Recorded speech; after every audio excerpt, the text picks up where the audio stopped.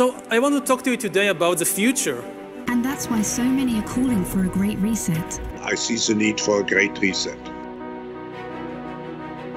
We will have not less, we will have more globalization. In the coming decades, AI and biotechnology will give us Godlike ability.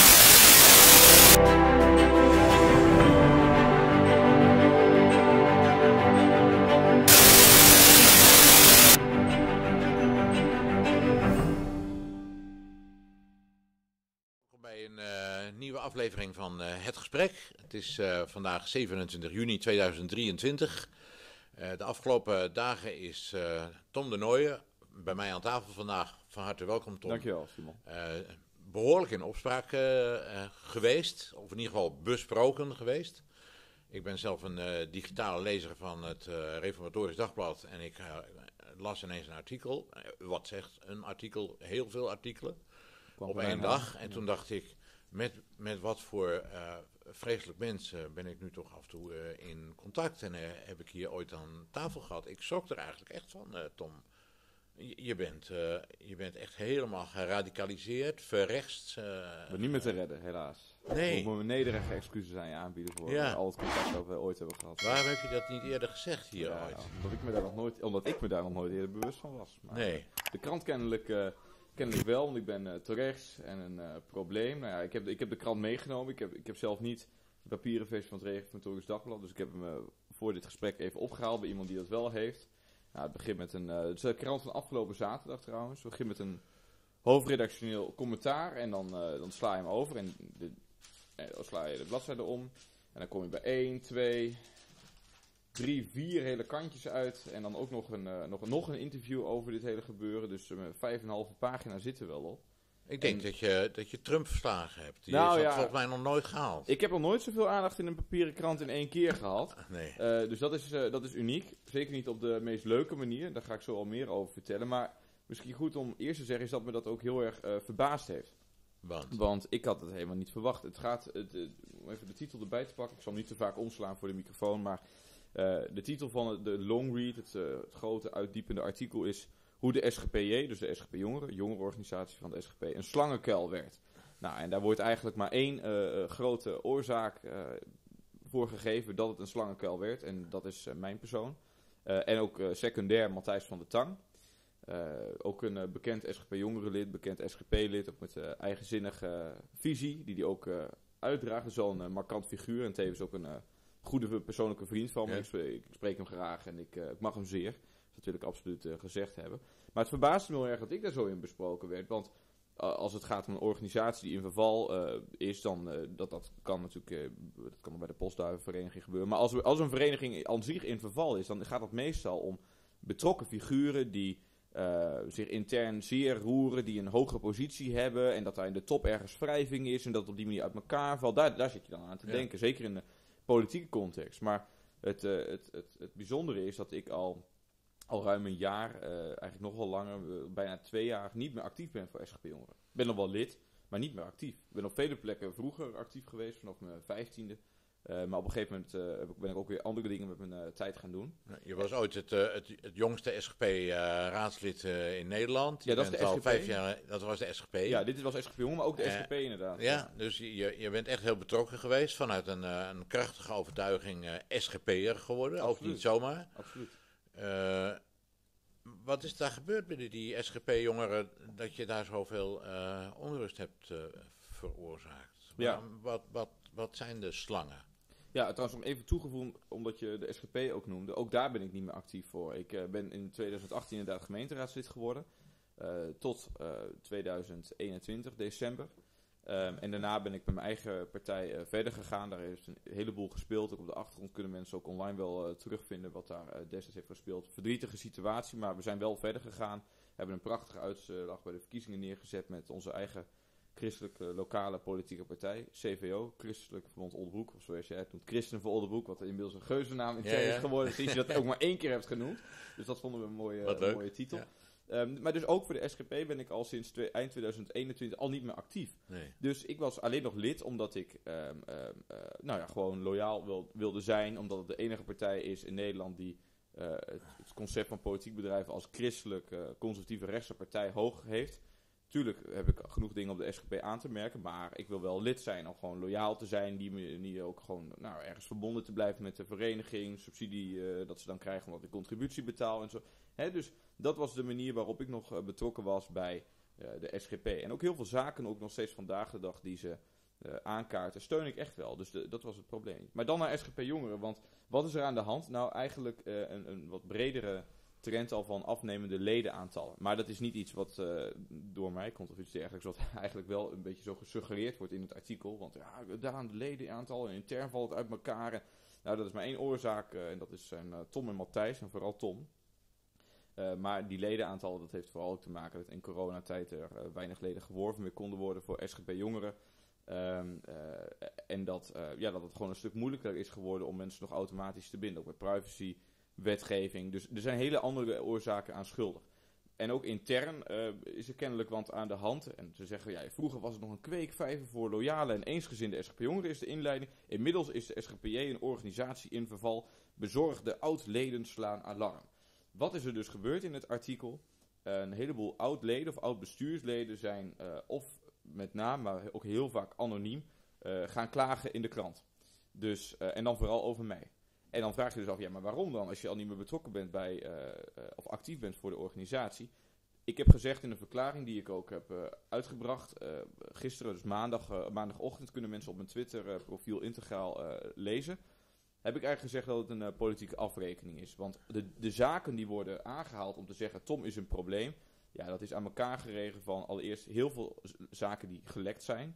Gelekte berichten, gelekt uit appgroepen. Dat gaat niet om berichten die ik erin heb gestuurd, ge- maar andere mensen, dat is in de krant teruggekomen. Er is gelekt vanuit eh, de Tweede Kamerfractie, waar ik stage heb gelopen voor de SGP. Dat was in eh, september 2021 tot eh, begin 2022, ruim een half jaar. Dus er wordt heel veel gelekt, heel veel gesteld over mij dat ik te rechts was, dat ik profileringsdrang heb.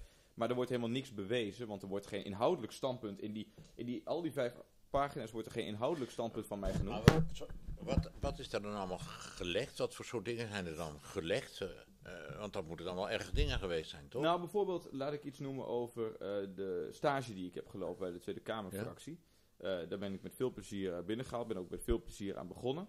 Ik deed daar onderzoek over de ruimte die er in de toekomst nog zal zijn voor het uitdragen van conservatief-christelijke opvattingen, of klassiek-christelijke opvattingen. Dat, dat is ook een beetje nou ja, mijn core business, dat gaat me aan het hart. Dus dat was een mooi onderzoek waar ik aan begon. En gedurende dat half jaar ben ik daar ook eh, veel mee bezig geweest. Ben heel veel ingelezen, veel contact gehad met eh, de medewerkers. Ook meegelopen, gewoon om het mee te krijgen. Wat gebeurt er nou eigenlijk in die fractie?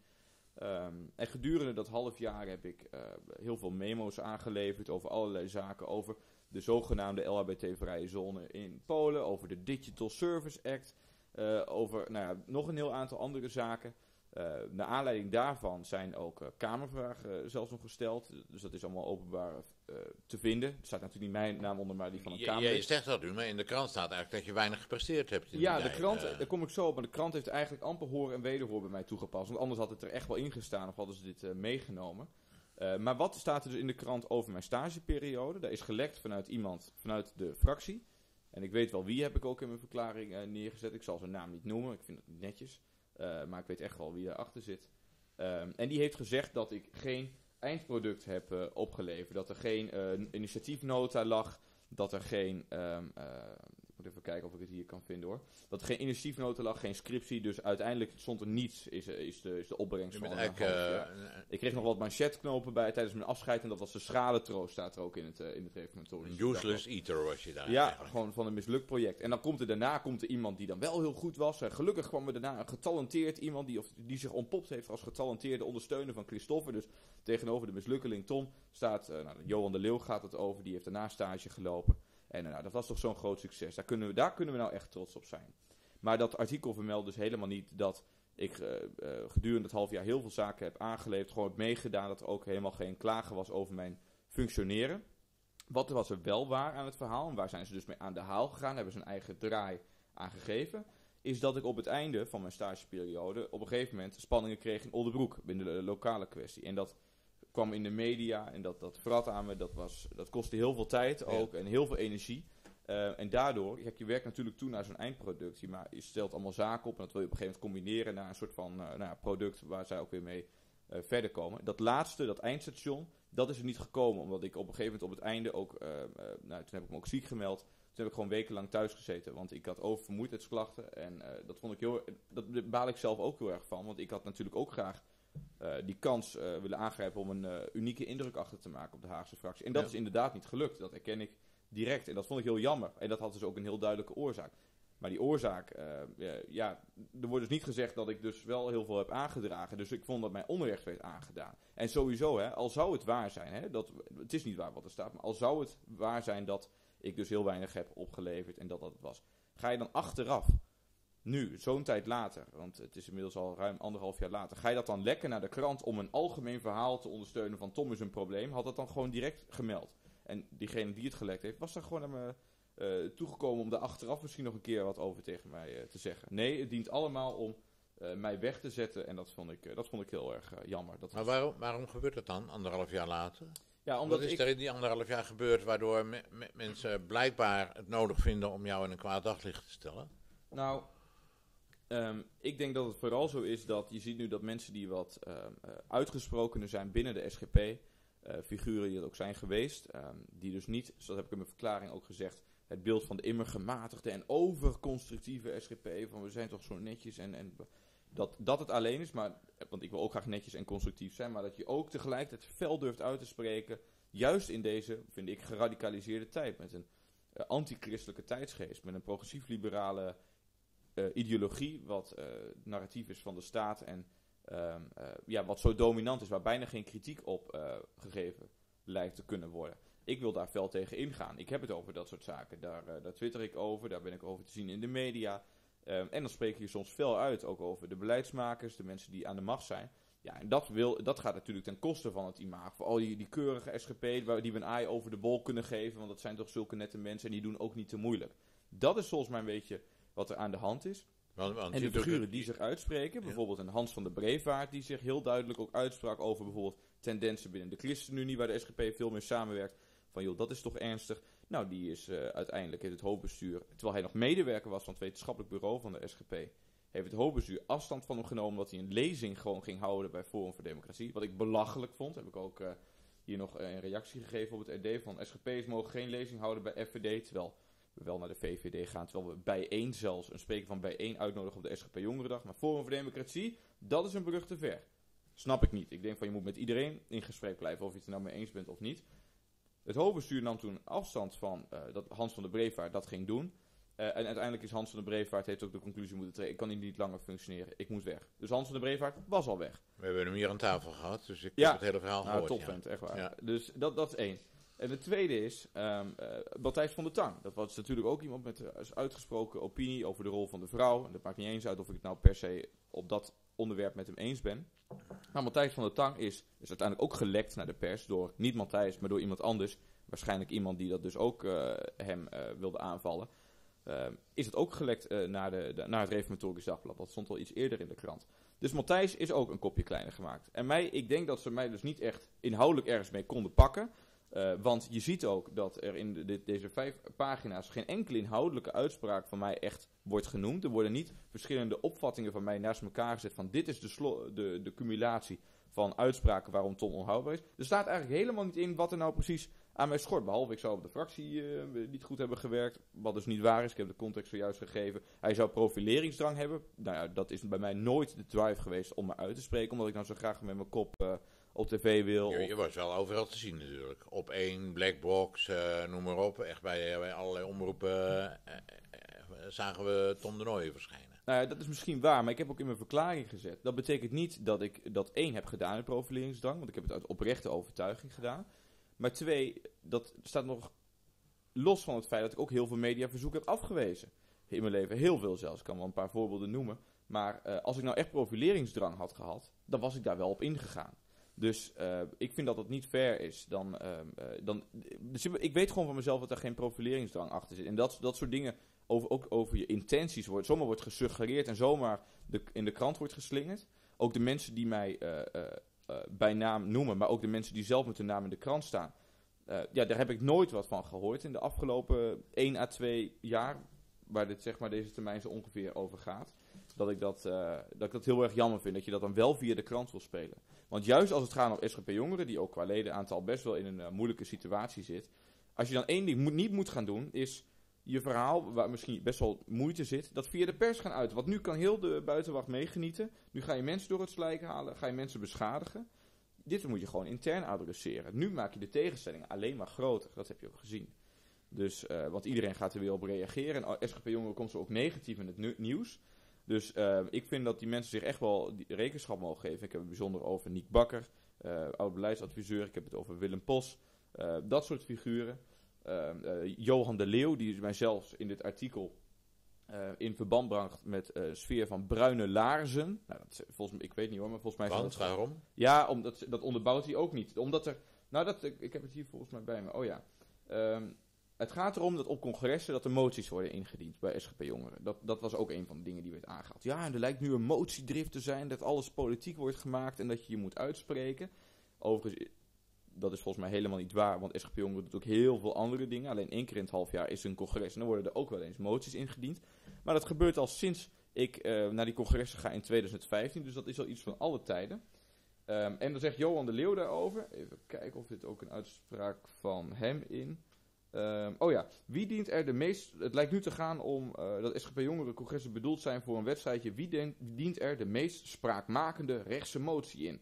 En dat sfeertje moet echt hoognodig paal en perk worden gesteld. Het kan toch niet zo zijn dat je met bruine laarzen moet komen aanstampen na een vergadering voordat je wordt weggestuurd?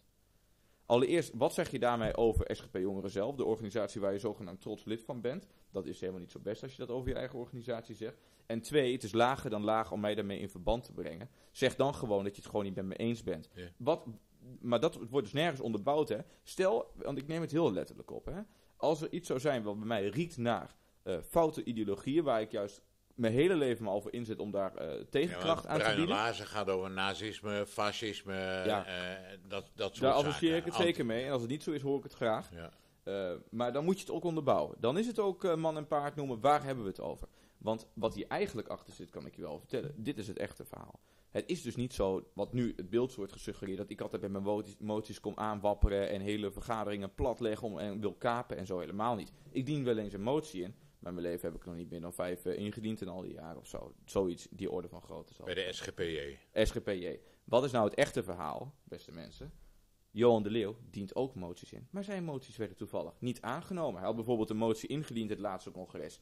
Om afstand te nemen, of niet het laatste congres, het congres daarvoor. Om afstand te nemen van eh, Forum voor Democratie. Want dat vond hij antisemitisch en zo. Mag helemaal van vinden wat je wil. Maar dat werd niet aangenomen. En nou, toen werd hij een beetje emotioneel op dat eh, congres. Dus hij kreeg zijn zin niet. Dat is wat er aan de hand was.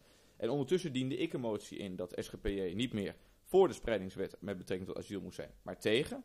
Dus de, de vereniging 180 graden te draaien op dat, eh, op dat punt. En die motie werd aangenomen. Ja, en dat kan hij niet hebben. En dan komen we er nu opeens met rechtse laarzen uitspraken aan. Waar zelfs de voorzitter van SGP Jonger in dezelfde krant nog ehm, eh, afstand van moet nemen. Hè? Want er staat, eh, de Rodi van Heijs, de voorzitter van SGP Jongeren, wordt gevraagd door de journalist. Moet je eerst met bruine laarzen komen aanstampen voor je wordt weggestuurd bij de SGP, zoals een van de geïnterviewden stelt? En dan zegt hij, dat vind ik een rare en onverantwoorde uitspraak. Ik voel niet de behoefte om daarop in te gaan. Dus je ziet ook dat, die, dat deze mensen zich zo vergalopperen. Het doel heiligt alle middelen om mij weg te zetten. En daarbij gaan ze heel wild om zich heen slaan. Dus Vind uit, ik jammer. uit een soort rancune worden de dingen geroepen. Die Ja. zelfs de voorzitter dan later moet zeggen van ja, daar herken ik me niet in. Dat was niet aan de orde. Eh, en, en, en in hetzelfde artikel wordt dat weer... Hij neemt het eigenlijk een beetje voor je op, hè? Ja, dus ik ben, ik ben wel blij met de reactie eh, van Rodi. Dat doet hij trouwens op nog een ander punt, eh, doet hij dat ook. Want ehm, eh, in dit artikel, en ook in het hoofdredactioneel commentaar, daar, wordt gewoon, daar word ik gewoon neergezet letterlijk als een probleem. Door het RD zelf. Dus het is niet eens meer dat die mensen die wat hebben verteld aan de krant dat vinden. Het RD heeft dat overgenomen. Het is ook de visie van het Reformatorisch Dagblad. Dat er eigenlijk dus niet uitgesproken mensen zoals ik binnen de Wat, wat, SGP wat, wat, zegt de hoofdredactie dan? ja, de hoofdredactie, eh, daar kom ik zo op hoor, wat zij eh, precies, eh, precies zeggen.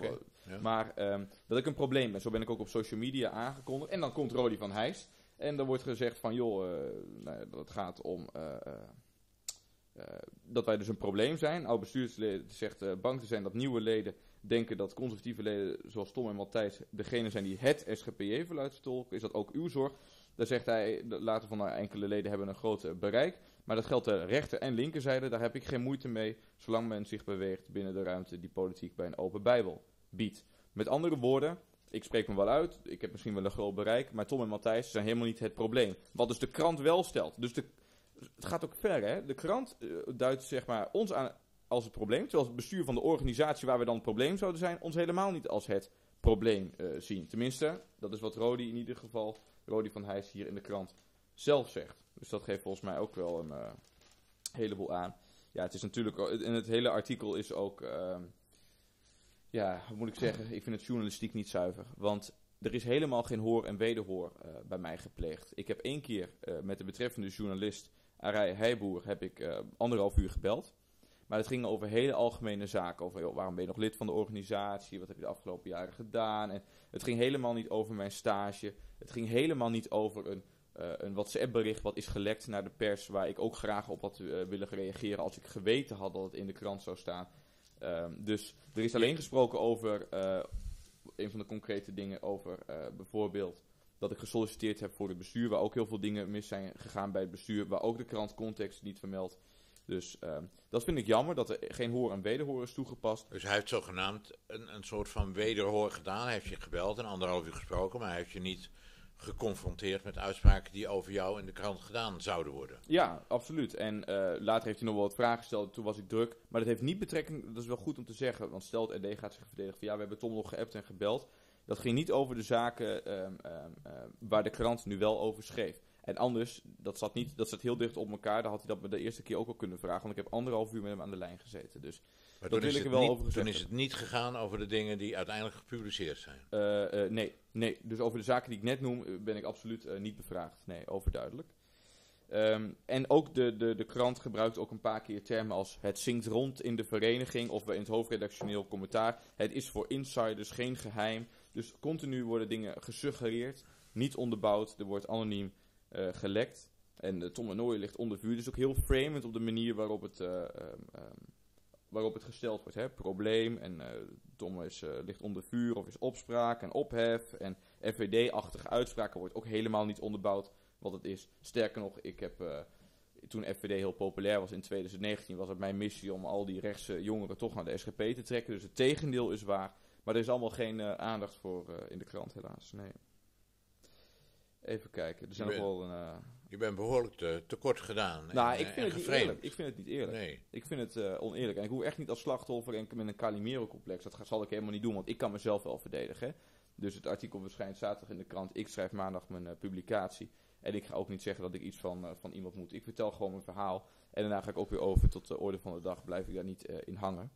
Ehm, maar eh, als ik nog even één ding eh, eh, moet noemen, een saillant detail. Want ik bedoel, ja, er wordt nu toch gelekt van de fractie. Dan ga ik vertellen hoe het zit ook. Wat werd er nog meer gezegd over mijn stageperiode? Er staat, oh ja, op de, de poging om de nooien te paaien, want ze wilden mij kneden. Ik zal even iets eerder beginnen. Oh ja, even kijken. Ik begin hier. Groot is dan ook de verbazing als hij in het najaar van 2021 opeens opduikt bij de SGP Tweede Kamerfractie in Den Haag. Het betreft een stage. De partij biedt hem op de fractieburelen een inspirerende werkomgeving aan, waar de student politicologie aan de Universiteit van Amsterdam onderzoek kan doen naar de ruimte voor het uitdragen van klassiek christelijke opvattingen in de hedendaagse politiek. Dat is tot dan toe, eh, dat is tot op heden althans de formele lezing. In de SGP, en let op weer, met woorden als zingt rond, wie dan, waar dan, dat het uitstapje eerst en vooral was bedoeld om de nooier te masseren en te kneden, in de hoop hem zo te kunnen behouden voor de partij. Eh, even kijken, drie bronnen die dat aan het Reformatorische Dagblad bevestigen, anoniem, willen niet met hun naam in de krant. Nou ja, dat zegt misschien ook al wat. En nu komt het. De poging om de nooier te paaien mislukt. Op de zevende etage van het tijdelijke Tweede Kamergebouw waar de SGP eh, waar de SGP'ers zetelen zijn geregeld wrijvinkjes waarna fractiemedewerkers, let op meervoud, kom ik op terug, hem moeten herinneringen aan, herinneren aan de gemaakte uitspraken over zijn media-optredens of media-uitspraken. En, en eh, nou ja, goed, even kijken. Ja, dat was dus wat ik wilde zeggen. Ehm, er wordt gesteld dat er regelmatig wrijvinkjes zijn geweest. En intern zijn er best wel eens over dingen gesproken. En dus, maar dat is gewoon het goede gesprek wat je op dagelijkse basis gewoon hebt met elkaar. Maar ook dat medewerkers mij hebben aangesproken. Dat is allereerst al niet waar. Ik heb met één iemand al die tijd eh, contact gehad in mijn dagelijkse omgang. Dat was de, persvoorlichter. uh, Cornel van Beek. En daar heb ik ook al gesprekken mee gehad. Maar er wordt hier gesteld meervoud. Dat is allereerst al feitelijk onjuist. Ik had altijd met hem contact over dit soort dingen. Maar de grap is dat ook over mijn media-uitingen dan geregeld wrijvingjes ontstaan. Ik zal zonder namen te noemen, zal ik één voorbeeld noemen wat er besproken is. Ik zeg ook niet precies waar, maar dat is ergens in het half jaar aan de orde gekomen. Dat was een tweet. Uh, en dat is ten opzichte van iedereen gedeeld daar. Dus daar is uh, ten overstaan van de hele fractie heeft daar iemand wat over gezegd. Dat um, uh, ik mijn app als de QR-app had verwijderd. De corona-app, zeg maar, waar je je vaccinatie of testbewijs of zo in kon zetten. Ja. Die had ik verwijderd. Ik had gezegd zoiets als um, app eraf gegooid, klaar mee, komt er ook niet meer op. En daar werd van gezegd, dat is wel een heel polariserende uitspraak. Dat moet je absoluut niet twitteren. En dat, dat had ook anderhalf duizend likes of zo. En een paar honderdduizend mensen hadden het gezien. Dat is niet de, de nette manier waarop we het als SGP vertegenwoordigen. Ik zeg maar, allereerst, het gaat helemaal niet over politiek. Dat is een persoonlijke keuze. Ik roep niemand op om het ook te doen. Ik deel gewoon alleen dat ik persoonlijk, nog los van politieke standpunten, de app heb verwijderd. Wat is daar zo controversieel aan? En ten tweede, de SGP was notabene ook zelf tegenstander van die hele identificatieplicht en 3G en 2G. Dus het was juist ook nog eens in lijn met de SGP-uitspraken. Het was zelfs zo dat toen diegene die daar moeite mee had dat aankaart, en misschien wordt daarna verwezen, dat ik zelfs berichtjes kreeg tijdens die, uh, dat moment van andere medewerkers die er ook bij waren. Van nou, ik weet niet waar die het over had, maar het sloeg in ieder geval nergens op. Dus ik weet ook heel duidelijk wie er gelekt heeft. Dat is waarschijnlijk degene die dat ook destijds heeft aangegeven. Maar dat ging dus over dit soort dingen. dat sloeg volgens mij gewoon helemaal. Uh, helemaal Even tussendoor, want je haalde een zin aan van uh, hij hield zich niet, uh, en daar zijn gesprekken over gehouden, hij hield zich niet aan de afspraken die waren gemaakt over zijn media-optredens. of over zijn publieke optredens. Wat waren er voor afspraken met jou gemaakt? Ja, volgens mij, nou ja, goed, dat je persoonlijke titel spreekt en dat je als er media-optredens waren, dat je even correspondeerde. Maar dat heb ik altijd netjes gedaan. Ik was in die tijd ook Radio 1, die wilde me een keertje hebben. Nou, dan overlegde ik dat even met Cornel, en die vond het ook helemaal goed en zo. Dus dat ging altijd een goede verstandhouding. Maar wat je dus ziet is dat er nu achteraf een heel verhaal over mij wordt geconstrueerd. Wat absoluut geen recht doet aan de realiteit. Om een beeld te ondersteunen van Tom is het probleem en die moet weg, uh, want die hebben we nog niet weggekregen. En uh, nou ja, dat doet volgens mij geen enkele recht aan de realiteit en ook aan uh, wat er gaande is in de organisatie. Want heel veel mensen hebben ook al tegen mij gezegd, ook in appgroepen, van, waar heel veel verschillende SGP-jongeren in zitten, linkse en rechtse. Die hebben allemaal gezegd, we herkennen ons helemaal niet in het beeld wat hier door het RD en door het aantal mensen wat hier met de krant heeft gesproken, wat het beeld wordt, wordt geschetst. Die zeiden van, dat slaat helemaal nergens op. Zelfs de SGP uh, heeft uh, gisteren in een verklaring gezegd dat het nu lijkt, en ik heb het gescreend, dus ik kan het er zo bij pakken. Um, de, even kijken hoor.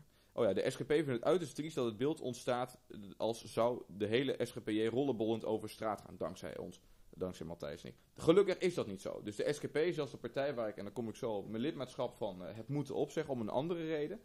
Uh, die zegt zelfs dat het beeld wat hier in de krant staat, de SGP zelf, dat dat beeld niet waar, dat dat beeld niet waar is. Dus nou ja, dat zegt volgens mij ook genoeg over het, uh, het, het uh, betrouwbaarheidsgehalte van, dit, uh, van dit artikel. Ik, ik, ik, vraag me dan toch in toenemende mate af, waarom gebeurt dit dan? Ja, dus zo, volgens mij heb ik er wel antwoord op gegeven, maar misschien bedoel je wat anders. Dat uh, uitgesproken figuren, dat die dus onder druk komen staan. Je moet vooral niet te veel zelf je uiten. We hebben toch een prachtige Tweede Kamerfractie, dat, dat is het beeld. En ik, ik steun ook al de vertegenwoordigers in Den Haag, die doen ook knap werk. Chris, Kees en Roelof. Uh, met z'n drieën maar ten opzichte van die hele grote Kamer die er vaak anders over denkt. Dus daar heb ik ook heel veel bewondering voor. Laat dat nog steeds voorop staan. maar het is vooral niet de bedoeling dat je jezelf uitspreekt, zelf nadenkt over zaken. Kijk maar vooral naar Den Haag en ga je vooral niet profileren. En zeker niet op een, op, een, op een eigenzinnige manier. Waarvan ik altijd heb gedacht dat dat binnen de bandbreedte was van SGPJ en de SGP. Ze hebben me vervolgens nergens op kunnen pakken en kunnen, nou ja, uh, weg kunnen zetten. Dus dan komt nu maar een verhaal van, nou ja, dan moeten we het toch maar via de media aanpakken. Ja, ik vind dat heel jammer. Want al die mensen, dat is trouwens ook opvallend, al die mensen, dus Johan de Leeuw, die Willem Pos had ik al genoemd, um, Niek Bakker, nou, er staan nog een aantal andere namen tussen, die hebben het ook vrijwel allemaal over onze namen. Over onze twee namen. Dus dat is gecoördineerd. Die mensen hebben natuurlijk van tevoren met elkaar contact gehad. Van, want je had ook heel veel andere figuren kunnen noemen. Je had heel veel figuren kunnen noemen die nu nog betrokken zijn bij SGP-jongeren. En dat doen ze niet. Ze doen een paar mensen die op de achtergrond aanwezig zijn, zich wel profileren. Maar dat doe ik helemaal niet namens de organisatie. Dat doe ik altijd namens mezelf of namens mijn lokale politieke partij. Laten we die vooral nog maar eens even een afrekening geven in de media. Nou ja, dat zo. Ja, wat, wat, jij, wat jij in de media doet, eh, jij zegt al, het is niet om jezelf te profileren, maar het is eigenlijk omdat je het belangrijk vindt dat de standpunten die je hebt, de christelijk-conservatieve standpunten, worden uitgedragen en Mhm. breder bekend worden dan alleen maar eh, op, op bepaalde plekken binnen SGPJ of eh, misschien zelfs alleen maar binnen de Tweede Kamer. Ja, Je wil dat uitdragen, je hebt een visie, je gelooft ergens in, toch? Ja, ja. En misschien is het dan ook een, een eh, goed moment om het bruggetje maken, te maken naar de SGP, want daar is ook iets eh, mee aan de hand. Dat staat eigenlijk nog een beetje los van dit artikel. Eh, ik heb dat gecombineerd in mijn verklaring, maar ik ben inmiddels dus ook geen SGP-lid meer. Van SGP Nee, dat is wel. heel schokkend ook wel, ja, toch? Nou ja, ik ben sinds mijn... ja, ik, of ik, moet ik eerst nog even antwoord geven op je vraag van... Want ik probeer het inderdaad breder Nee, uit doe te maar, doe maar. Ga maar door. Heb je nog een beetje mij? Ja hoor. Ah, geweldig. Dat is zo'n topper, joh. Levende water. Kijk, mooi. Ja, dat kunnen we ook nog op een andere Ja. plek krijgen. maar goed.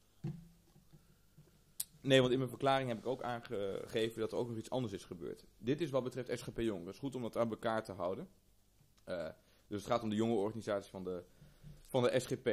Maar ondertussen hebben we ook nog eh, de moederpartij, zoals het dan wordt genoemd, de SGP. En daar was iets anders mee aan de hand. En dat staat eigenlijk los van het artikel. Dat is ook al voor het artikel heeft dat eh, plaatsgevonden. En dat is dat ik op een gegeven moment eerst een mailtje kreeg, maar die had ik per ongeluk niet gezien. Ik kreeg daarna een brief thuis en aangetekende post. Met het verzoek of ik eh, op gesprek wilde komen. En het gespreksonderwerp was ehm, eh, in hoeverre mijn online uitlatingen, of eh, mijn, nee, mijn publieke uitlatingen zich verhouden tot het lidmaatschap van de SGP. Nou, neutrale vraag, was niet een soort van laatste waarschuwing of zo, stond er allemaal niet in. Maar goed, ik zei, eh, is prima, natuurlijk, ik ga altijd gesprek aan. Ik ben ook lid van jullie, dus jullie mogen mij daar ook op gesprek vragen als jullie met dingen zitten.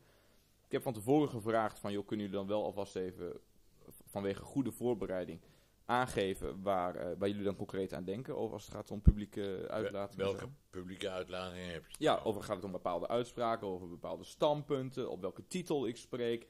Ehm, eh, gaat het over de pl- plekken waar ik aanschuif of met wie? Nou ja, daar kwam vooral uit dat, los van mijn deel, ook, ook mijn deelname aan CVO, terwijl ze daar zelf volgens mij eh, heel erg schuldig aan zijn geweest door de boel te laten klappen, want ik wilde heel graag lokaal verder. Maar goed, laat ik dat even rusten. Dat vooral ook eh, het aanschuiven bij eh, Blackbox en Ongehoord Nederland eh, een groot probleem is. Blackbox werd in de mail genoemd en later in het gesprek is Ongehoord Nederland ook genoemd. En dat is opvallend. Ze hebben, ze hebben mij niet eens genoemd. Nee, dus waarschijnlijk vonden ze jou nog wel.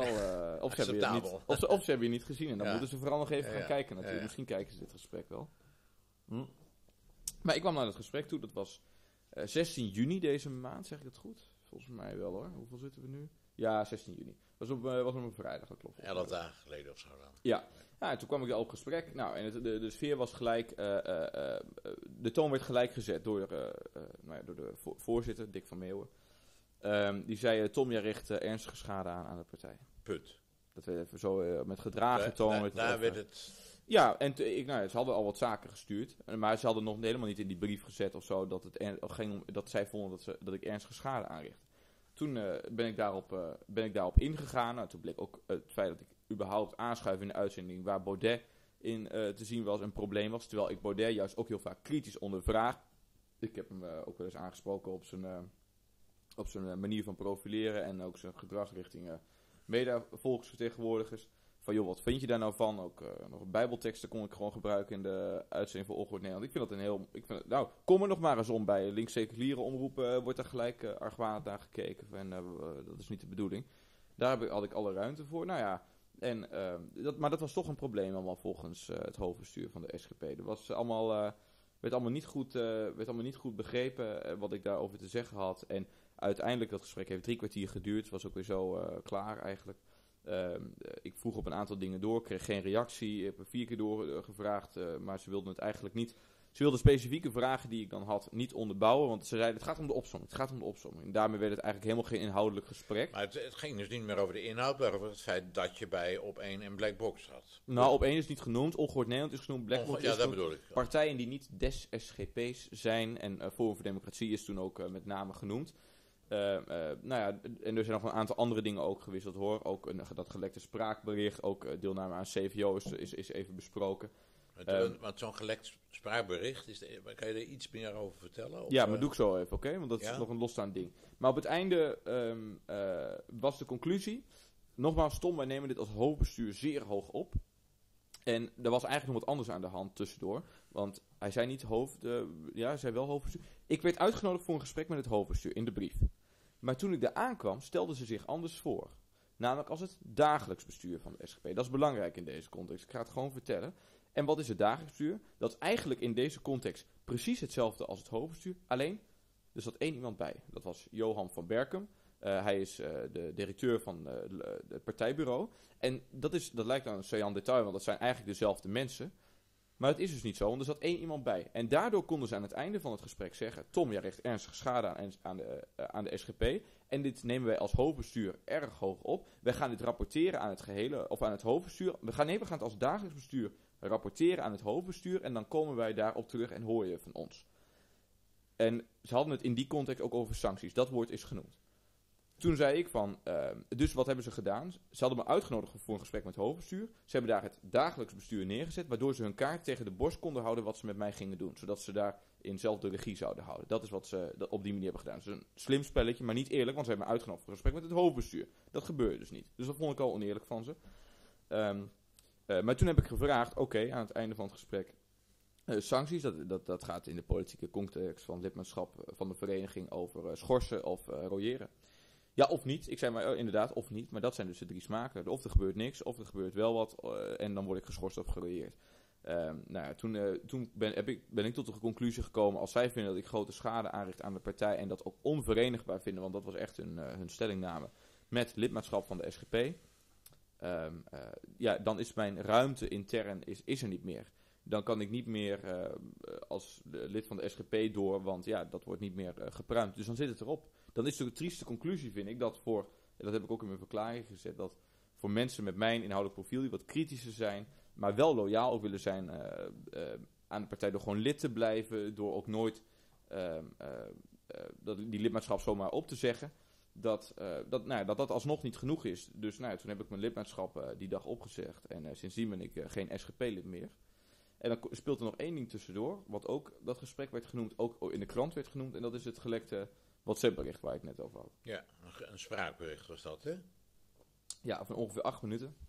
En dat, die heb ik destijds naar één iemand doorgestuurd, maar naar één iemand. een, mevrouw die dicht, dicht bij me en mijn kring. Uh, en die wilde het ook delen met een aantal, uh, met een aantal andere vrouwen. Zat ze mee in een, uh, een appgroep of een Telegram groep of zo. En dat ging over de verkiezingen, want zij zaten heel erg te twijfelen op wie ze moesten stemmen. En ik heb bij de afgelopen Provinciale Statenverkiezingen geen SGP gestemd. ik kon dat namelijk niet. Ik wil graag SGP stemmen, want ja, ik ben ook lid. Ik, voel me verbonden met, met die club. Met, dus de enige christelijke politieke partij die dat wil verbinden met een rechtsconservatief gedachtegoed. In beginsel heb ik wel kritiek over hoe dat vandaag de dag gaat. Maar goed, dat, probeer, dat willen ze nog altijd wel. Ik zie ook niet een heel makkelijk alternatief. Maar de SGP in Gelderland, die had zulke kwalijke stellingnames, dat ik gewoon niet meer op de SGP daar kon stemmen. Ik heb het ook toegelicht in dat bericht. Uh, dat was bijvoorbeeld dat zij voor de gedwongen fusie tussen Scherpenzeel en Barneveld zijn. En dan denk je van ja, maar wat, maakt dat nou uit? Dat is, je, woont niet eens in die gemeente, joh. Maar ik, zie, ik vind dat heel belangrijk. Dat gaat namelijk om centralisatiepolitiek. Het bestuur ver bij de burger vandaan. Dus minder gemeenten, supergemeentes creëren. Uh, uh, uh, zodat de gemeentelijke bestuurslaag steeds verder wegkomt of zelfs verdwijnt. En um, vervolgens daar internationale organisaties ook weer bij komen. Als je thuis van Thorbecke bekijkt, een beetje op die manier zie ik dat. En Scherpenzeel is nou net een SGP-gemeente, waar de SGP super groot is, waar de SGP-fractie tegen die fusie met Barneveld was, waar de SGP interim burgemeester, gaat om Eppie Klein, ook kant tegen was. Die zelfs al ontslagen door, uh, uh, door wie was het ook weer, door de commissaris van de Koning, of de, ja, volgens mij door de commissaris van de Koning als uh, interim burgemeester. Waar de bevolking zich in 82% bij een referendum heeft uitgesproken tegen een fusie, die wilde, zelfstandig blijven. En toch gaat de SGP-fractie in de provincie daar gewoon voor stemmen. In het artikel van het RD wordt mijn voorspelbericht ook helemaal geen recht gedaan. Zij zeggen namelijk, ik weet niet of ik het kan vinden zo snel, nou, ik kan het gewoon citeren. Dat de SGP in Gelderland niet, of niet genoeg moeite heeft gedaan om het te blokkeren. Dat is helemaal niet wat ik stel. Ze hebben niet, niet genoeg moeite gedaan. Ze hebben voor die gedwongen fusie gestemd. Dat is veel ernstiger. Dat stond in hun programma al. Dat, ze dat, dat hebben ze gestemd toen het, uh, toen het in de provincie erop aankwam. En toen de provincie, provinciale staten zich daarover moest uitlaten. Dus ze hebben niet, niet genoeg moeite gedaan dat ze tegen waren, maar een beetje voorzichtig. Nee, ze waren gewoon voorstander. Ja, ik, vind dat, eh, ik vond dat niet normaal. Ik vond het eh, ook echt een brug te ver. Want die, juist vanuit staatkundig gereformeerd eh, gedachtegoed zou je toch juist een kleine overheid moeten voorstaan. Dicht bij de burger. Menselijke maat. Mensen die je kent. ah, weet je wel? Dat, dat, dat concept. Ja, dat, dat, op die manier verlaat je dat gewoon. Dus dat was voor mij een heel belangrijke reden. Maar ik heb ook nog heel veel andere redenen genoemd. Die ook niet in de krant staan. Bijvoorbeeld dat de SGP het, eh, de regionale energiestrategie steunt. Sayan detail. Toen ik SGP-raadslid was, heb ik nota bene als enige fractie toen nog met de SGP tegen de regionale energiestrategie gestemd. De SGP in de provincie was daar gewoon voor. Wat is de regionale energiestrategie? De uitwerking van het klimaatakkoord met klimaatpaus Ed Nijpels, waar eh, alleen maar gedacht wordt aan zon en wind. Dus nou, die regionale, energiestrategie is echt eh, desastreus. Is de SGP in de provincie ook voor? Ze zijn meer voor, voor meer windmolens, voor meer AZC's en niet eh, sluiten zonneweiden op landbouwgrond ook niet uit. Nou, als dat je programma is, als dat daarin staat, ja, sorry, maar dan ging het voor mij deze keer te ver om specifiek voor de provincie op de, op de SGP te stemmen. Dat heb ik eh, naar één iemand gestuurd, die heeft dat rondgestuurd. Maar kennelijk is dat in eh, handen van eh, vele andere ogen gekomen. Heb je alleen dat gezegd of heb je ook gezegd, dus stem ik op? Ja, ik heb gezegd waar ik uiteindelijk wel gestemd heb, op een christen van een andere politieke partij. En je kunt wel raden in deze context, juist om deze thema's, om, om, waar het om gaat. Ehm, eh, maar dat bericht is dus uiteindelijk ook naar de krant verstuurd, terwijl het gewoon een WhatsApp-bericht was dat ik, ja, ik had niet verwacht dat het zoveel doorgestuurd eh, zou worden. Want ik heb destijds ook bewust niet op Twitter of zo gezegd eh, op wie ik gestemd had, terwijl ik dat bij andere verkiezingen doorgaans wel doe. Dus dat was een bewuste keuze. Ik baal er wel een beetje van, maar aan de andere kant, ik sta nog steeds achter de inhoud. Dus ja, ik hoef er ook me niet voor te schamen. Ehm, maar goed, de, dat, vond, dat is ook in de krant eh, terechtgekomen. En dat, zelfs dat is ook eh, gelekt. En daar, nou ja, ik vond ook niet dat aan de weergave daarvan recht wordt gedaan aan, eh, aan mijn positie in, die, in dat voorstel. Ik ben daar best wel inhoudelijk op een aantal punten ingegaan. Dat wordt amper geadresseerd. En ook daar heb je helemaal geen kans gehad om daar iets over te zeggen in de krant. Volgens mij ben ik ook daar. en Ook daar ben ik niet over bevraagd, inderdaad. Ook daar is, is niet over begonnen in het. ehm, in het zeg ik dat goed? Ja, zeg ik goed. We moeten het wel met zekerheid kunnen zeggen. Ik wil geen eh, fouten maken. Maar ook daar, daar ben ik niet over bevraagd door de RD-journalist. En anders mag hij het nu corrigeren. eh, als hij het ziet, dan Ja. eh, hoor ik het graag. Ik, wil, ik vind gewoon. Dat is mijn hele punt eigenlijk vandaag. Ik wil het gewoon allemaal met open vizier doen, weet je wel. Als je mij op mij op hebt aan te merken, fine, weet je wel. Eh, eh, ga tegen me in, eh, bel me, app me, mag ook publiekelijk op Twitter of zo, weet je wel. Als je een keer wat ziet van mij en denkt van nou, ik ben het er niet mee eens, vind ik allemaal prima. Maar dat laffe lekker, zoals ik het heb genoemd, om maar een verhaal te kunnen construeren wat geen recht doet aan de werkelijkheid eh, en allemaal dingen door te sturen, zelfs vanuit een bepaalde, zelfs vanuit je, je voormalige werkomgeving, zeg maar, waar je een half jaar gewoon fulltime eh, je voor hebt ingezet. Ja, dat vind ik laag als dat, eh, als dat, als dat gebeurt. Dat vind ik niet eer- eerlijk. Dus dan wil ik daar graag op, op reageren en zeggen wat mijn, mijn kant van het Nou, dat heb je behoorlijk gedaan nu. Nou, Kan, kan, kan dat nog goed komen, zoiets? Wat, wat, zou, wat zou je hopen? Wat, wat, wat zou er kunnen gebeuren? Kan Nou- het RD, kan de SGP, de SGPJ nog iets doen om, eh, om jou tegemoet te komen? Nou, kijk, het, het heeft, het, heeft het nu al opgeschreven. En ehm, ehm, ja, ik, ik, in het vervolg me wel gewoon, voordat dat soort dingen gepubliceerd worden, even ehm, een keer over al die zaken te bevragen als je maar anderhalf uur aan de lijn hebt. En niet een aantal algemene dingen en dan vervolgens met tak, tak, tak. Ik schrok echt toen ik het artikel las, want ik wist dat er wat ging komen. Maar dit en dat het ook eigenlijk voornamelijk over mij zou gaan, ja, dat had ik helemaal niet, eh, had ik helemaal niet verwacht. Je moet ervan wakker gelegen hebben even, denk ik. Nou, ik ben wel geschrokken. Ja, ik dacht, Ja. oh, wat overkomen nu nou? Er kwam ook geen einde aan, dat artikel. Eh, dus ja, dat, dat zou ik van het RD graag in de toekomst verwachten. En ehm, ik heb een verklaring gisteren op Twitter eh, gepubliceerd. Ben ik niet op alle details ingegaan wat ik nu wel heb gedaan. Eh, maar ook wat ik hoop is dat ik... eh, want ik had, ik had nog niet gepubliceerd over dat ik geen SGP-lid meer was. En dat er dus geen ruimte meer was voor mij in de partij. Maar ik heb in die verklaring wel duidelijk ook aangegeven... dat het hier dus gaat om eh, politieke inhoud. Dus dat het een inhoudelijke kwestie is uiteindelijk over opvattingen. En dat er dus kennelijk echt wel zeer strikte grenzen zijn over wat wel en niet mag binnen de partij. Sterker nog, eh, daar is ook nog een onwaarheid over verteld door de SGP in de reactie die ze gisteren op dit artikel hebben gegeven. Want zoals ik al zei, en dat heb ik ook zwart op wit op de mail staan, ehm, ehm, eh, hebben zij dus in de mail die ik vooraf, voorafgaand aan het gesprek eh, van ze had gekregen, en ook omdat ik het allemaal had gevraagd van, joh, wat is dan precies de onderwerp waar we het over gaan hebben? Wat is dus uiteindelijk problematisch, breek ik in het gesprek?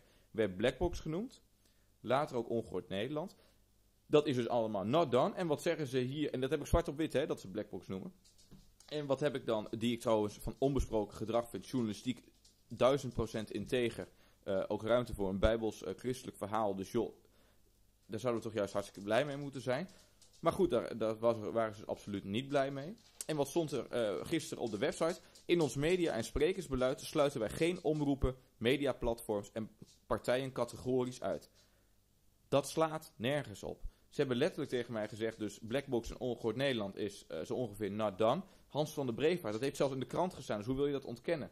Die, um, um, uh, die heeft nou, niet, al, niet, alles wat in de krant staat is waar. Nou, dat, dat, dat, de SGP het ook heeft aangegeven. okay. De SGP, nou, dat is wel even iets anders. Dat de SGP heeft aangegeven van, nou, uh, bij monden van de voorzitter Dick van Meeuwen, dat het niet verstandig was dat Hans van der Brevaart, dus daar is gewoon afstand van genomen, dat hij ook maar een praatje hield bij uh, het Renaissance Instituut. Dat is het uh, wetenschappelijk instituut van Forum. Dus dan sluit je wel degelijk partijen categorisch uit en media categorisch uit. Dus dat, dat doet geen recht aan, aan hoe het zit. En dan heb ik nog één detail wat ik moet vermelden. De SGP is dus gisteren op allerlei zaken ingegaan. Uh, naar aanleiding van mijn verklaring. Met, met een eigen verklaring. En daarin zeggen ze nog over het gesprek. De SGP-woordvoerder bevestigt dat er inderdaad een gesprek plaatsvond. Overigens, die SGP-woordvoerder, dat is Peter Smit. Maar die was helemaal niet bij het gesprek aanwezig. Dus neem het met een korreltje zout. Want er staat de SGP-woordvoerder bevestigt dat er inderdaad een gesprek plaatsvond tussen een afvaardiging van het hoofdbestuur en de Nooier.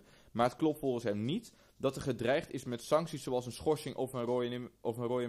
De insteek van het gesprek was de Nooier bevragen, nou ja, dat is zeker ook wel gebeurd, open en eerlijk naar elkaar zijn. Het had niet de sfeer van dreigen. Nou ja, maar dan gaat het over een semantische discussie wat je dreigen noemt, want er is heel duidelijk gezegd dat ze het mee gaan nemen naar het volledige hoofdbestuur. En dat ze erop terugkomen. En toen heb ik uiteindelijk uh, schorsen en royeren gebruikt. Ja, nou dat bevestigt wel. Daar, dat gingen ze inderdaad over nadenken. En daar gingen ze op terugkomen. Dat dus, hebben zij gezegd. Ja, dat is, dat, we gaan het meenemen in het hoofdbestuur. En inderdaad, als het gaat om uh, sancties bespreken, heb ik gezegd schorsen en royeren. Ja, dat kon niet worden ontkend. Dat was inderdaad zo. Of niet te royeren, zei uh, Dick van Meeuwen nog. Dus met andere woorden, daar gaat het daar dus wel over. Dus dan moet je niet er een beetje omheen willen gaan praten. Van we hebben het allemaal netjes willen doen en zo. En het had niet de sfeer van dreigen. Want dat was wel degelijk de sfeer. En ja, dan is het maar net hoe je het woord dreigen interpreteert. Maar ze hebben gezegd dat ze erop ter terug gingen komen en dat ze dat middel gingen inzetten. Dus ze hebben gedreigd met het middel. Dus het gaat me niet per se om een dreigende sfeer van uh, uh, dingen gooien naar elkaar en uh, hoe het kon ontploffen of zo. Het gaat meer om het, het zakelijke dreigen met dat soort instrumenten. ja, dus dat. Ik, wees gewoon eens een keer eerlijk, weet je wel. En zeker ook in de verklaring achteraf. Doe gewoon recht aan de realiteit. We weten allemaal wat er gebeurd is. Ik kan die mensen recht in de ogen aankijken en zeggen hoe ik erover denk.